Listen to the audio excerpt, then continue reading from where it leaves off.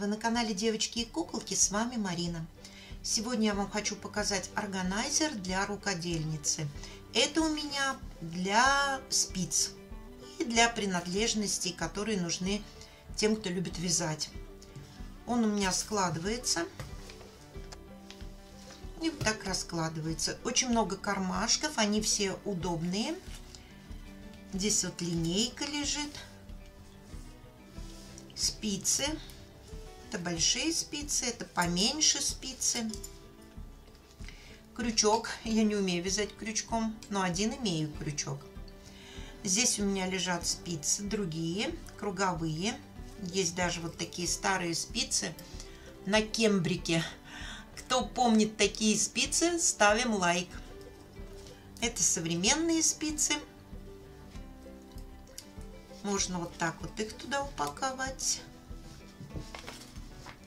Здесь я сделала такую планочку, чтобы спицы не выпадали. А вот этот вот хлястик, или как его, клапан, он держит, чтобы вот эти спицы не выпадали. Когда мы закрываем органайзер, и вот в этом месте, чтобы вот, видите, они не падают. Вот. Он у меня получился плотный, потому что ткань я проклеивала флизелином. Можно его сделать на синтепоне. Как я делала такой органайзер, я сделала мастер-класс. И кому интересно, посмотрите. Карман на молнии. В нем можно хранить иголочки, этикетки, булавки и какие-то мелочи. Это у меня нитку обрезать такие ножницы. О, что в этом кармане? Это такие у меня шаблончики делать помпоны. У меня есть видео, как сделать идеальный помпон для шапочки. Ну, собственно, все просто. Смотрите видео, у вас все получится. Всем желаю удачного творчества. Берем ткань и я приклеила на флизелин, потому что эта ткань у меня тонкая. Размер моего органайзера будет 40 на 30. И я немного с запасом выкроила пока, потом подровняю. Нам нужно в середину пришить две детали. Я для того, чтобы было потолще, поплотнее, ткань складывала вдвое. И сюда еще одну детальку. Выравниваем и пришиваем вот так посередине. Он складываться будет так и так.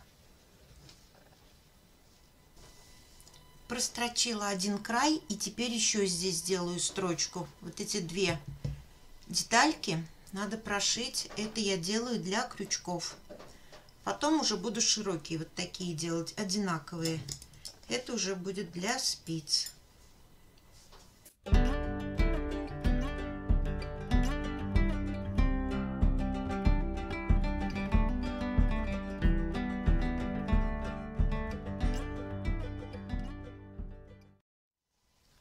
И теперь будем делать кармашки для круговых спиц. Также берем первый большой, выравниваем.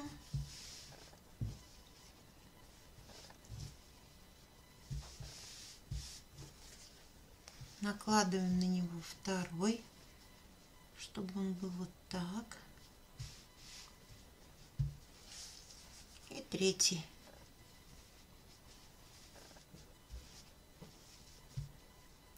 И пришиваем здесь.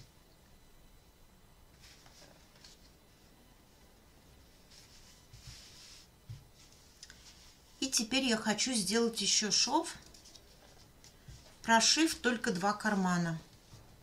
Только эти два кармана. А потом уже буду все полностью соединять. Здесь может быть еще такое вот отделение. Еще дополнительно под спицы. Можно этого не делать.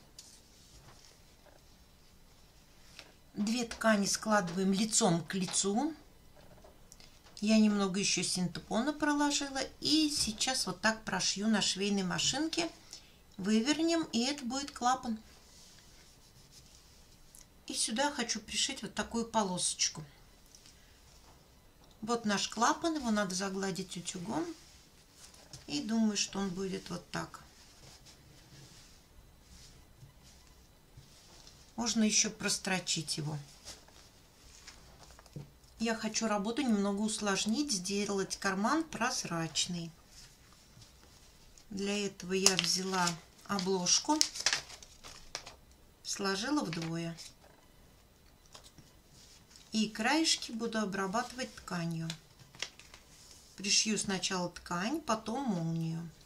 И молнию сюда еще пришью. Нашла вот такую вот тесемочку и пришью ее вот здесь и здесь.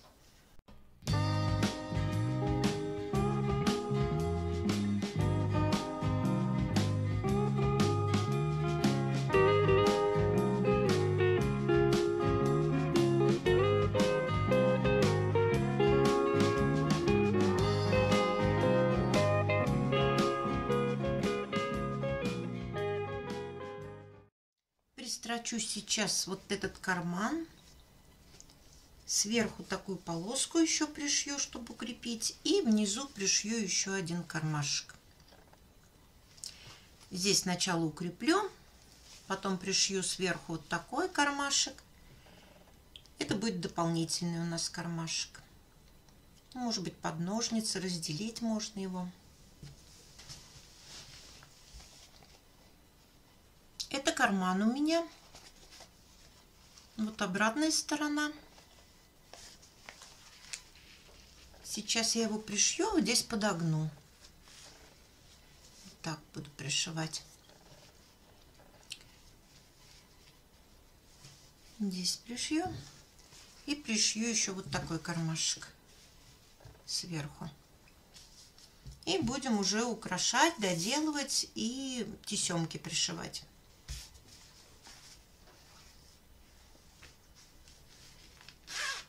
Пришила карман, туда легко входит рука.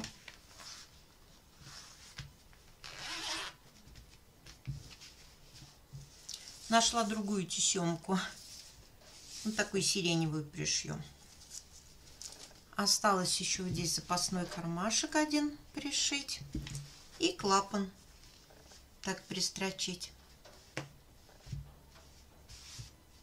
И дальше будем все замерять как вырезать ровно, края будем подгонять. Все будем доделывать уже. Прострочу сиреневыми нитками по одному шву здесь и здесь. А второй шов будем делать потом. И потом пришью клапан. Я его отпорола. Мне показалось, что он неровно пришит. Хочу сначала полоски пришить, а потом уже клапан. Все карманы я дошила, тесемки потом второй шов пришью. И хочу соединить, это верх у нас, и прошью и выверну. Прошиваю три стороны, а сторону, где вот здесь вот этот карман, не прошиваю. Вот про этот карман. Пока выворачивала, и слюда это немножко вот стала такая неровная. Поэтому, кому очень хочется с таким карманом заморочиться, делайте, но, может быть, не делать этот карман. Мне осталось прошить здесь и сделать завязки. Также прошить вот здесь шов. Видите, у нас тут еще не дошито. Этим мы укрепим здесь, появится шовчик.